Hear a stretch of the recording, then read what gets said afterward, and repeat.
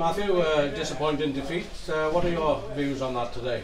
Uh, to be honest, you can't fault the effort today, Kip, but just a few errors cost us uh, badly in the end. Um, a lot better attitude than we had against Newport and uh, Cross Keys, which we had another loss.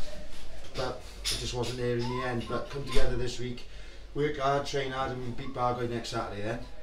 I think that's a very positive outlook on it, in fairness. And we were up against uh, a big team today who overpowered us a bit up front, I thought. Yeah. We started off on the back foot. But uh, we grew into the game and uh, nobody took a backward step, uh, especially yourself, I thought.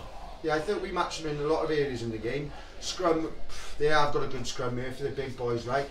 But physicality wise, I think we matched them throughout. It was just those little errors, those little one percenters that make all the world of difference in a match. Like so, um, next Saturday, Bargoed, like I said, we put put, put it bed then. Yes, I think that's right. We've got to get the show back on the road, and uh, Exactly. the, the ability is there for sure.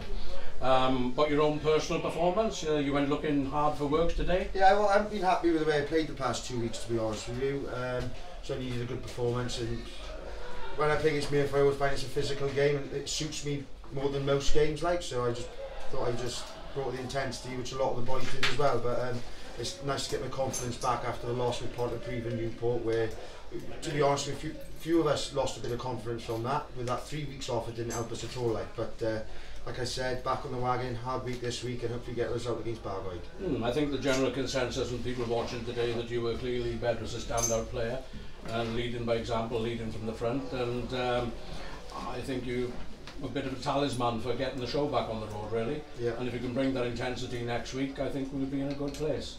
Yeah. Um, personally, I didn't think they looked half a million pound a year budget better off than we were. Definitely not. But uh, like I said, big week this week, and I hope you all can watch next week. And I uh, wish you all the very best. Cheers, Kip.